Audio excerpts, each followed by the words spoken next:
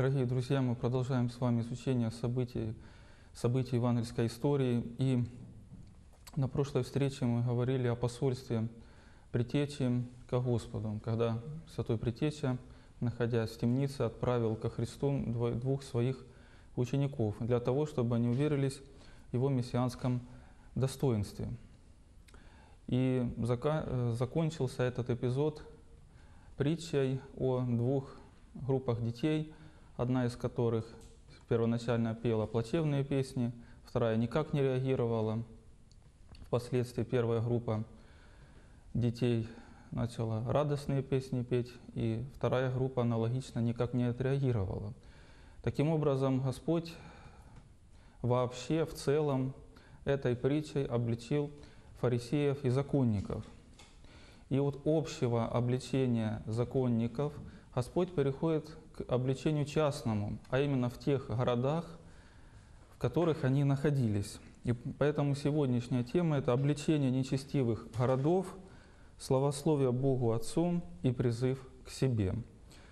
Об этом эпизоде сообщает Евангелист Матфей в 11 главе с 20 по 30 стих.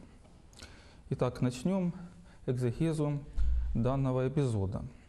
20 стих. «Тогда начал укорять города, в которых наиболее явлено было сил его, за то, что они не покаялись.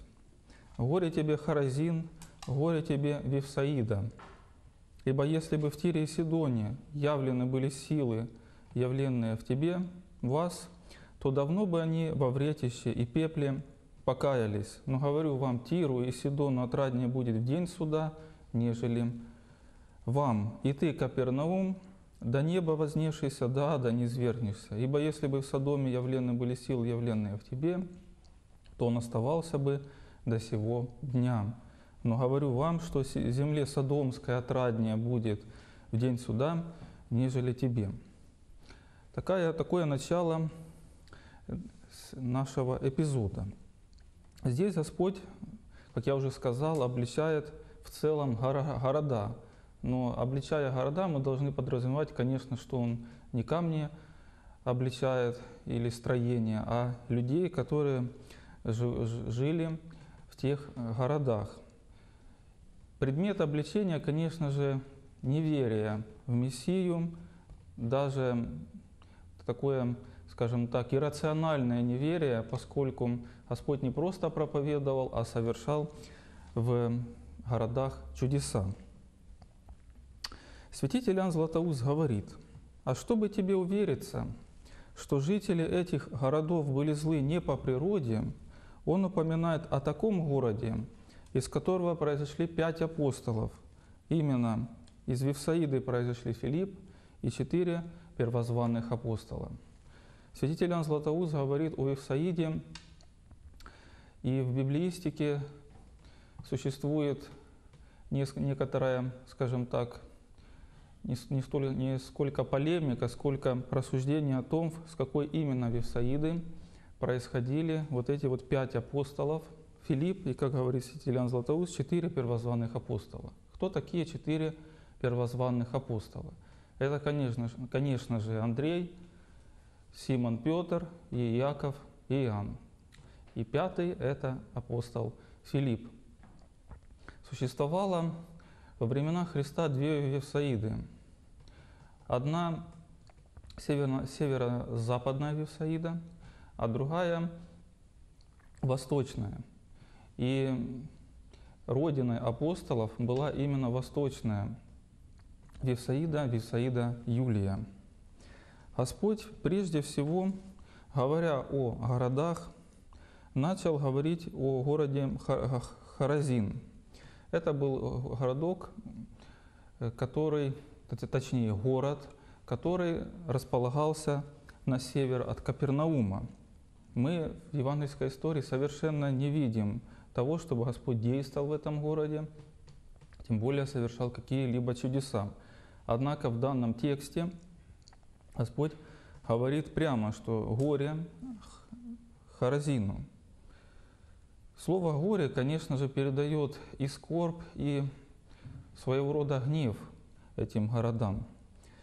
И вторым городом является Вифсаида, о которой сказал святитель Иоанн Златоуст, что жители не по природе были злые в этом городе, поскольку пять из этих, пять человек из этого города стали апостолами.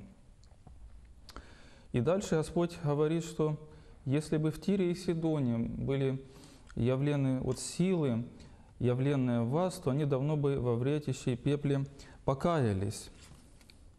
И такое, такое сравнение, которое здесь проводит Господь, подчеркивает нечестивость этих городов.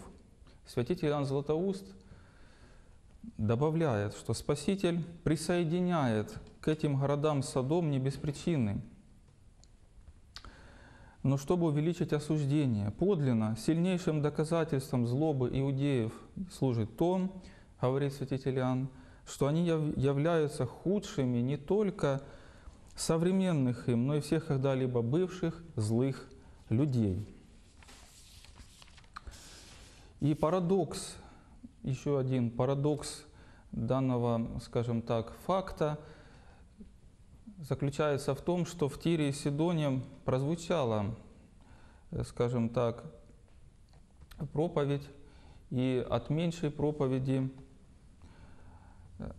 они покаялись в то время как в этих городах Харазине, Вифсаиде и прочих городах прозвучала более сильная проповедь Христа Спасителя, однако жители этих городов не покаялись.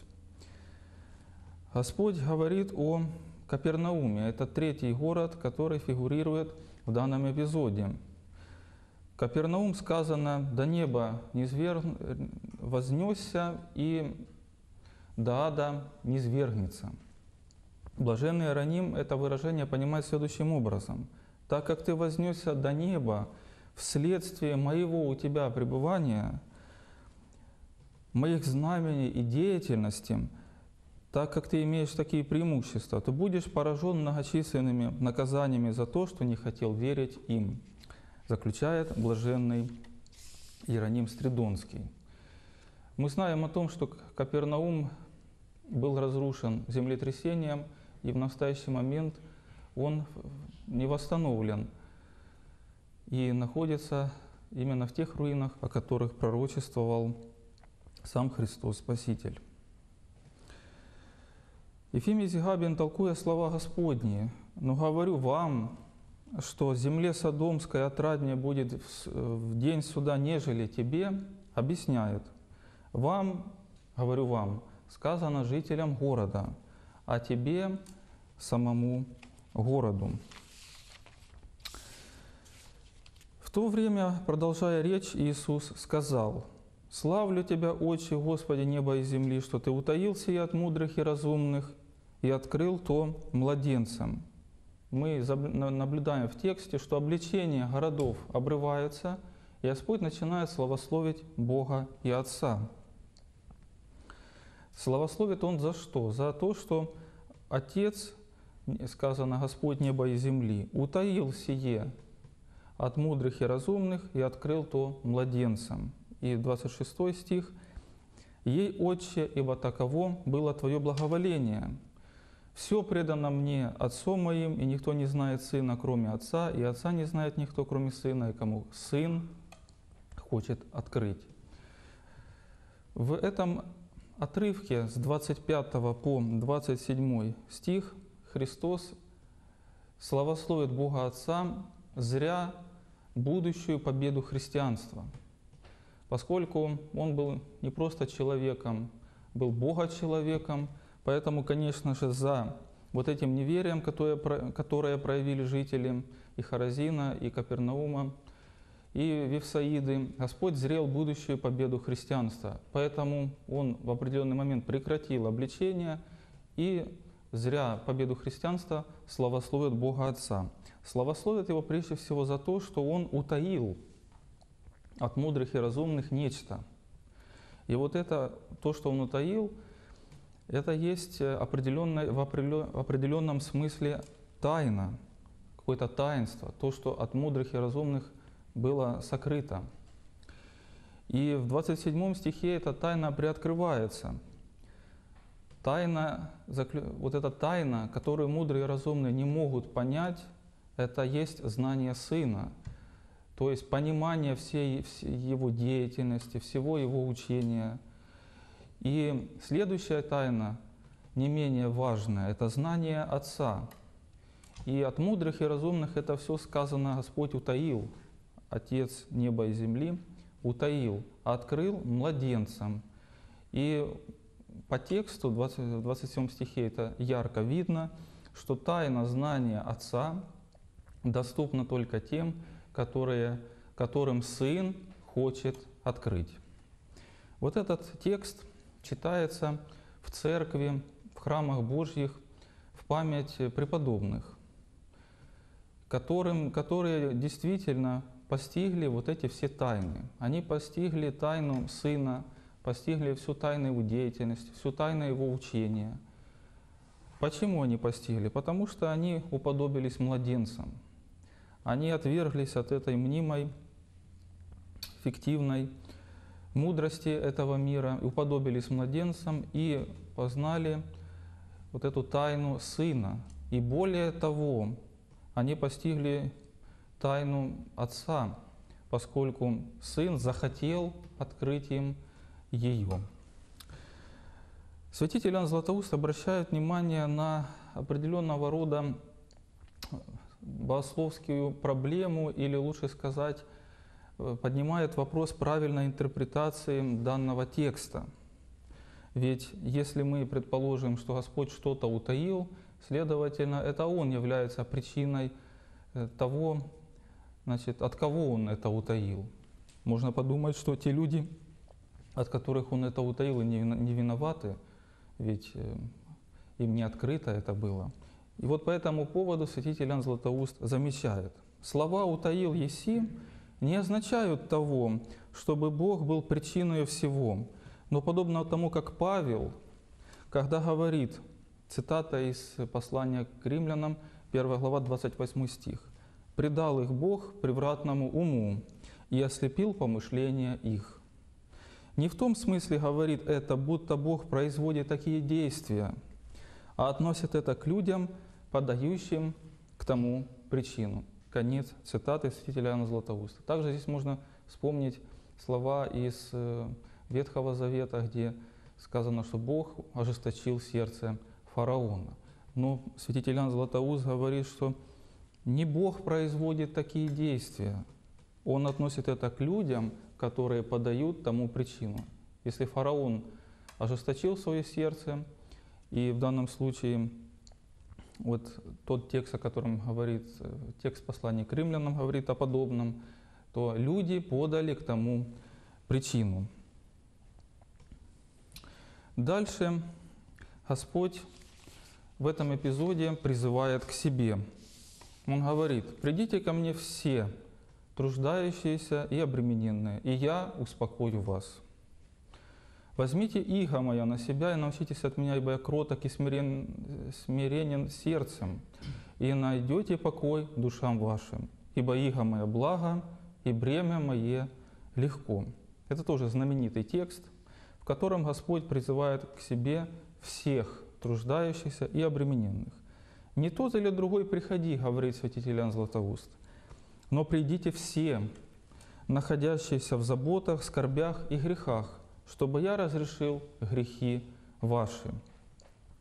А святой праведный Иоанн Кронштадтский добавляет, «Все, что беспокоит, — пишет он, — и как бы подмывает сердце в его основании, томит его, от дьявола происходит, ибо он есть вечное беспокойство и томление. Господь же есть покой сердца, говорит святой праведный Иоанн Кронштадтский. Господь призывает к себе всех людей для того, чтобы успокоить их через прощение грехов. Именно грех является причиной томления нашего сердца. Когда человек грешит, он сам навлекает на себя беспокойство и томление. Путь к тому, чтобы успокоиться – это путь приближения к Христу, в котором нужно, конечно же, покаяться в своих грехах. Господь дальше говорит, что возьмите на себя, мою иго. Слово иго предполагает, конечно же, нечто такое нечто тяжелое. И действительно, первоначально тот закон евангельский, который Господь дает, он людям кажется тяжелым. И он действительно первоначально является определенным, в определенной степени игом. Вспоминается рассуждение святителя Игнатия Брянчанинова. Он говорит, что вот эти, вот эти заповеди Господни первоначально уподобляются цепям, которыми человек себя связывает, связывает свои греховные движения. Но впоследствии, говорит святитель Игнатий, Брянчанинов, эти цепи становятся золотыми, и человек начинает их ценить и не представляя себе существования вне их. Господь призывает к себе и говорит, что научитесь от меня, ибо я кроток и смирен, смиренен сердцем, и найдете покой душам вашим.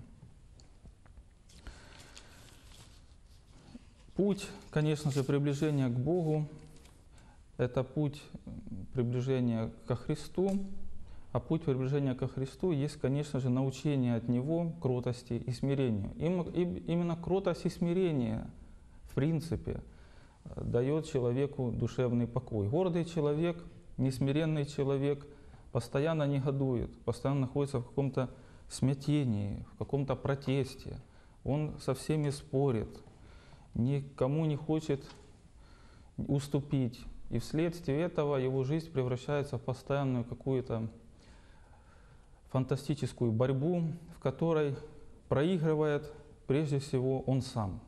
И не хочет успокоиться, и поэтому никогда не получает покой сердечный. Напротив, смиренный человек, кроткий человек, он постоянно пребывает в этом покое. Он ни с кем не спорит, он находится в гармонии с Богом, с самим собой, с окружающими людьми, следовательно, обретает душевный комфорт.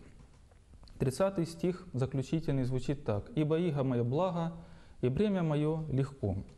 Первоначально Господь сказал, что возьмите на себя мое иго, и мы предполагаем, что действительно это иго, вначале и является в точном смысле слова игом, но в 30 стихе Господь говорит, что его иго благо, и бремя его легкое.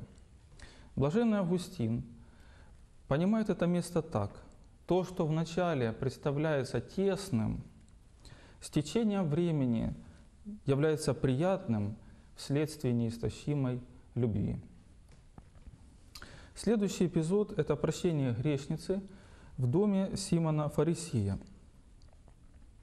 Об этом эпизоде нас информирует Святой Лука в 7 главе 36-50 стихи для тех, кто следит по тексту. Итак, 7 глава, 36-50. Некто из фарисеев просил его вкусить с ним пищи, и он, войдя в дом фарисея, возлег. Этот эпизод показывает отношение ко Христу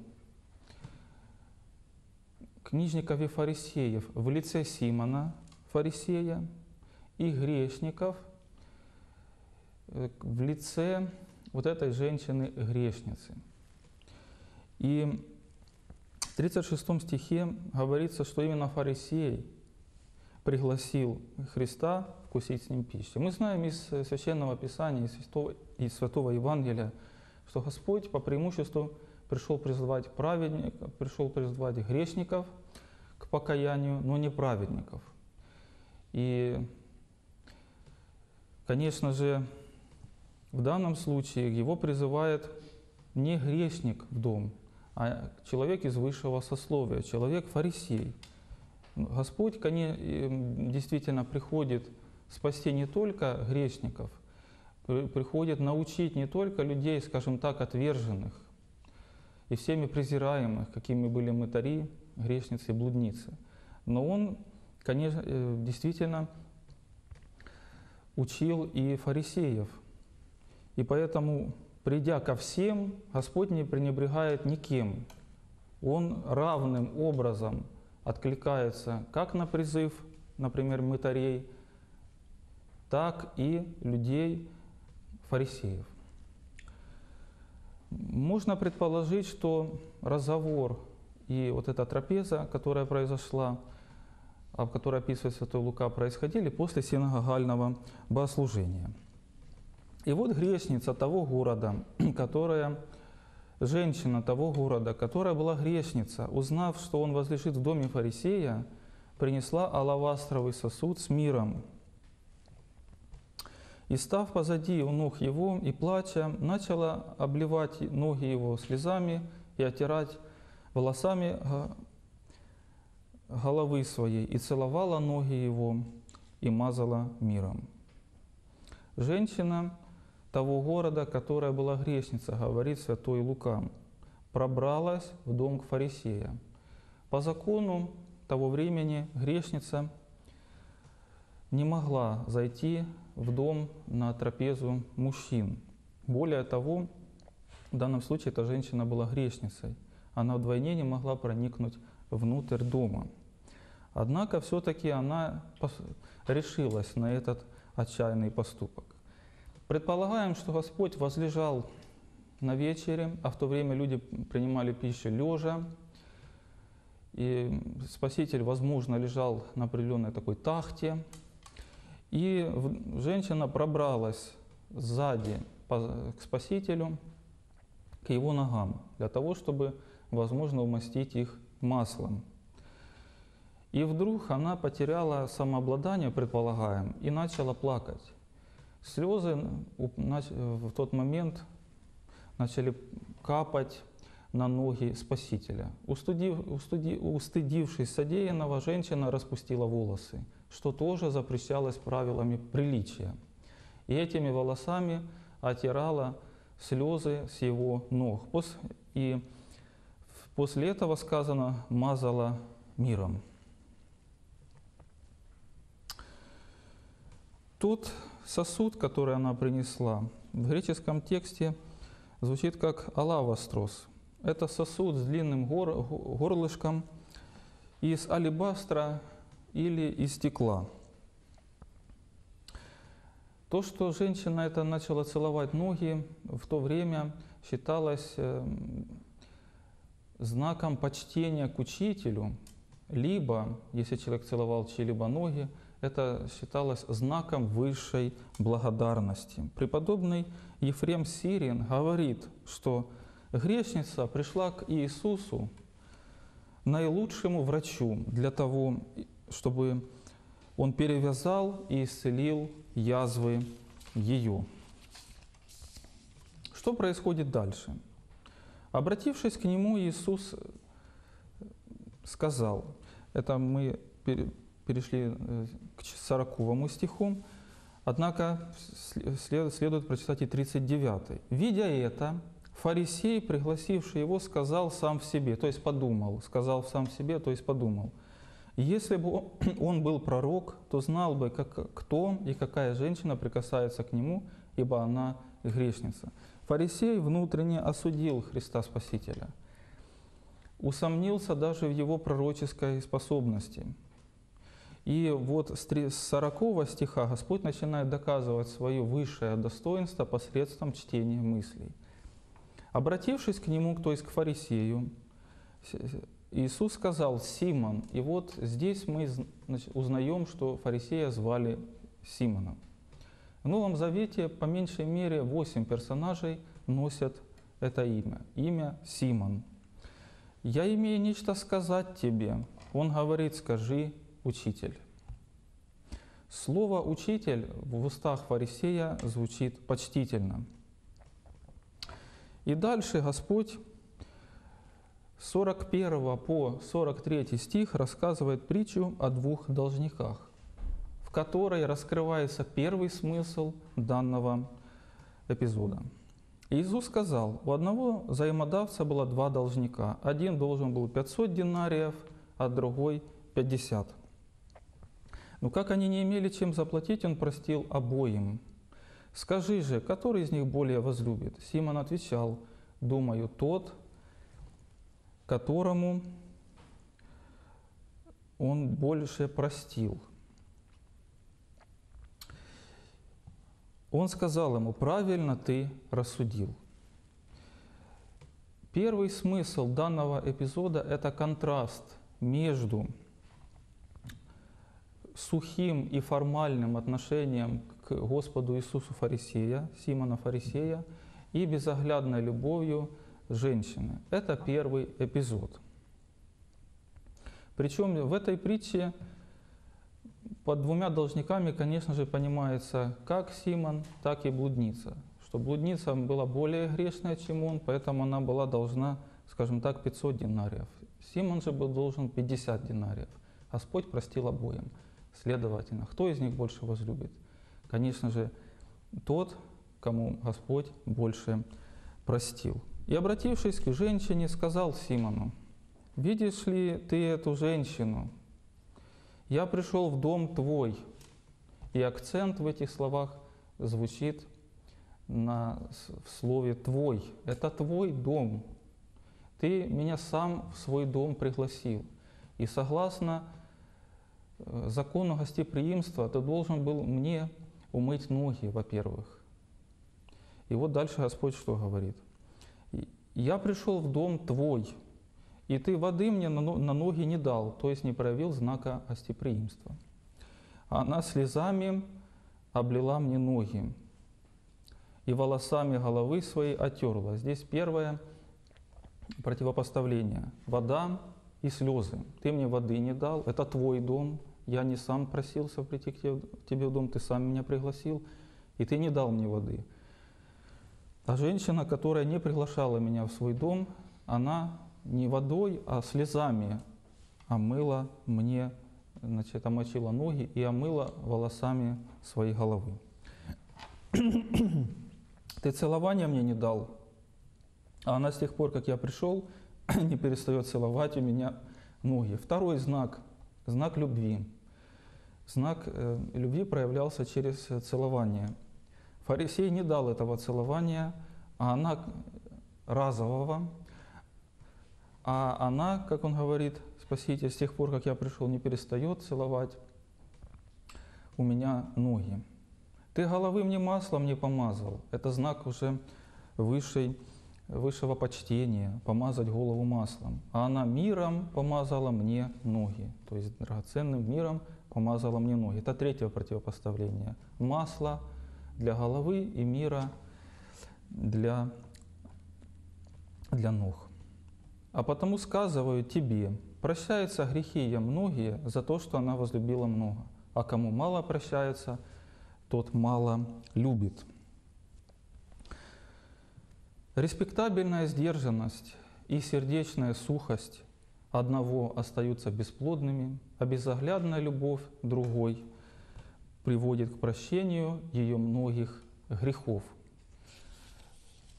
В библиистике спорят о том, потому ли Господь эту женщину простил, потому что она его возлюбила много, или потому она его возлюбила много, что он ее простил. Любовь за прощение или прощение за любовь. Тот и другой вариант друг друга не исключают.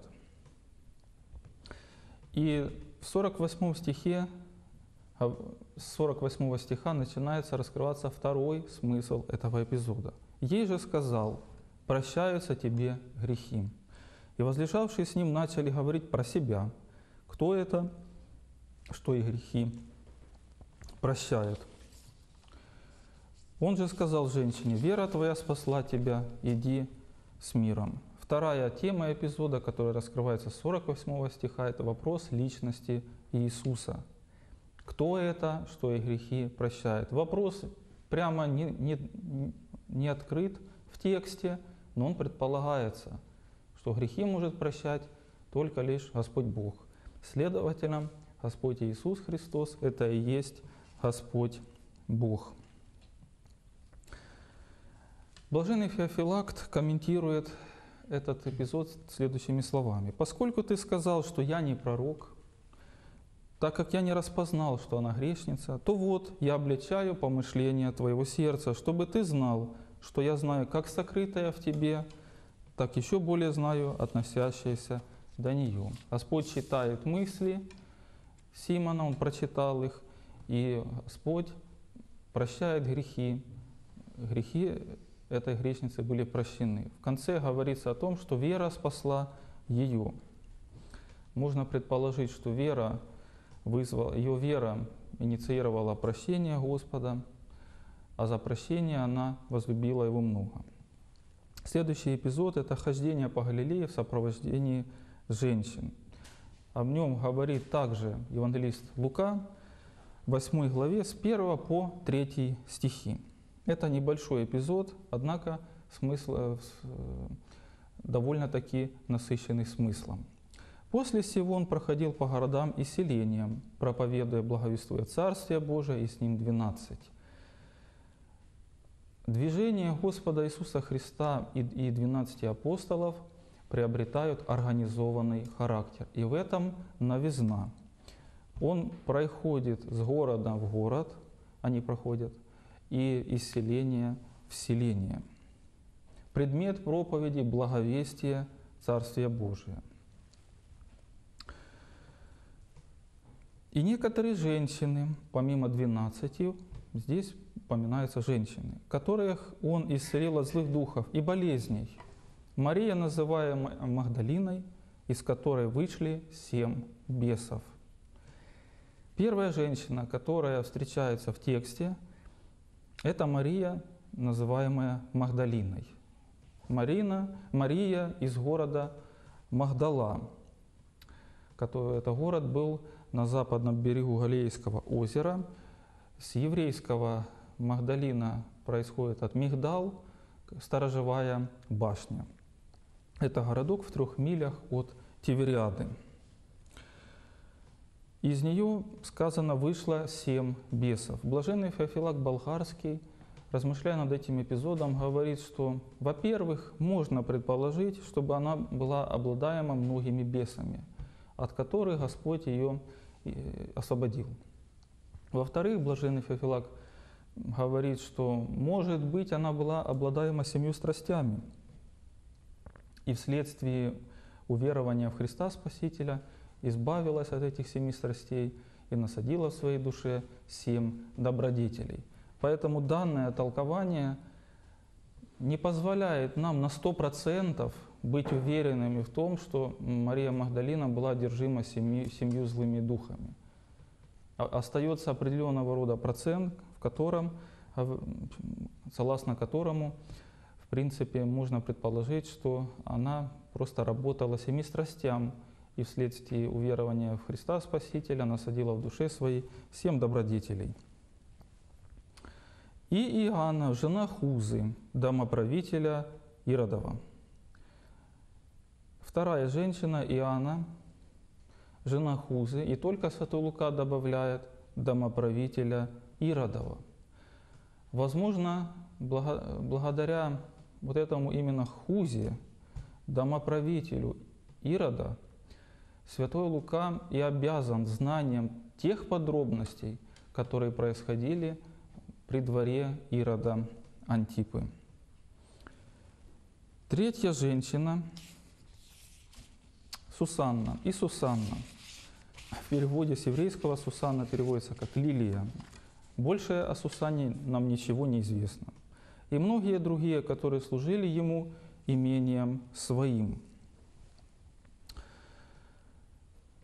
Еще одна новизна данного вот, движения Господа Спасителя заключается в том, что женщины служили, сказано, Ему имением своим, то есть служили Христу имением своим.